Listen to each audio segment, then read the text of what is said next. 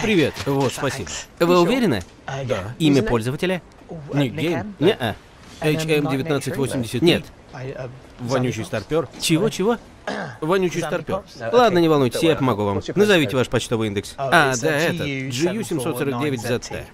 С возвращением, Ник Forever. А, хорошо. Пожалуйста, внимательно прослушайте это пожизненное пользовательское соглашение перед тем, как продолжить использовать ваш хлеб, если вы не прам пам пам парам Вы также соглашаетесь не использовать любой продукт на основе хлеба в любых очень-очень плохих целях. Вы не будете использовать его для разработки и постройки ракет, а также химического, ядерного и биологического оружия.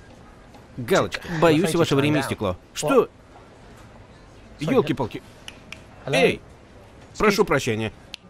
Ну вот, привет. Только это? Да мы только... Назовите ваше имя пользователя. Это Ник Forever, через четверку.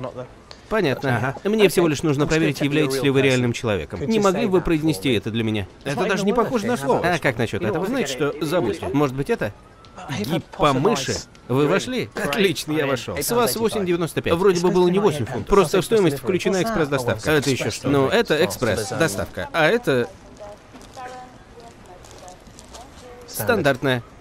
Стандарт, стандартная доставка 4,95. Почему? Хлебная страховка. Вы не сняли галочку с опцией хлебная страховка. Вы знаете, я думаю, я рискну. А Вы знаете, срок годности уже почти закончился. Мне все равно. Тогда с вас 98 пенсов. Товар будет готов к отправке через 4 рабочих дня. Что? Вообще-то он мне нужен сейчас. А, понятно. Вы можете забрать его по специальной цене 3,27.